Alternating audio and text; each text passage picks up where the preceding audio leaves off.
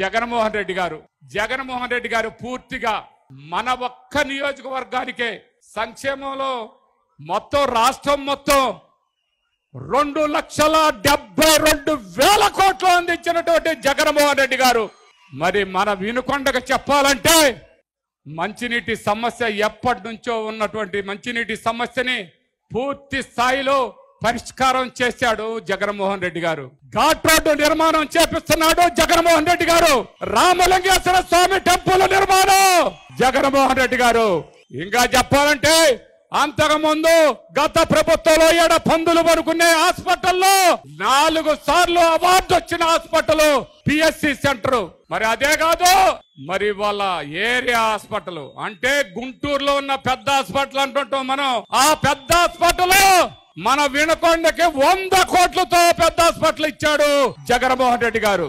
మరి అమ్మఒడి ఇచ్చాడు అన్ని విధాలా ఆదుకున్నాడు. నేను ఇప్పుడు రెండిటే చెప్పా కదా మరి మధ్యలో ఉన్నాడు కదా చంద్రబాబు నాయుడు గారు రెండు వేల పద్నాలుగు నుంచి రెండు వేల పంతొమ్మిదికి ఇరవై ఐదు సంవత్సరాల నాడు ముఖ్యమంత్రి కూడా అయ్యాడు. ఇప్పుడు అన్ని ఇస్తాను మారుతి కారు కాదు నేను బెంజ్ కారు ఇస్తాను అంటాడు ఇంట్లో అందరికీ నేను రుణమాఫీ ఇస్తానంటాడు. ఇంట్లో అందరికీ అమ్మ వడిస్తానంటాడు రెండు వేల పంతొమ్మిది నుంచి రెండు వేల పంతొమ్మిది దాకా రెండు వేల పద్నాలుగు నుంచి ఏమి లాగావయ్యా? ఆ యాలు ఇస్తే ఎవడన్నా వద్దన్నాడా? ఆ యాల ఈ రెండు లక్షల డెబ్బై వేల కోట్లు ఇస్తే ఎవడన్నా వద్దన్నారా? ఊరూరు గ్రామ గ్రామం సచివాలయం హెల్త్ సెంటరు. అదే విధంగా రైతు భరోసా రైతులకి గోడౌస్.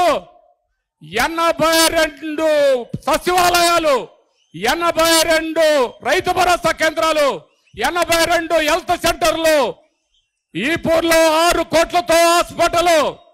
ఏలుపూర్లో పెద్ద కోల్డ్ స్టోరేజీ ఈపూర్లో పెద్ద కోల్డ్ స్టోరేజీ. ఇవన్నీ గవర్నమెంట్ నుంచి వచ్చినటువంటివి. మరి గత ప్రభుత్వంలో ఇవన్నీ ఎందుకు చేయలేదయ్యా చంద్రబాబు నాయుడు నువ్వు? అయ్యా అసలు నీకు తెలుసా? అయ్యి నీకెక్కడన్నా తెలుసా? పేదవాళ్ళు బీసీలో ఎస్సీలు ఎస్టీలు మైనార్టీలు అంటే నీకు కనపడ్డారా?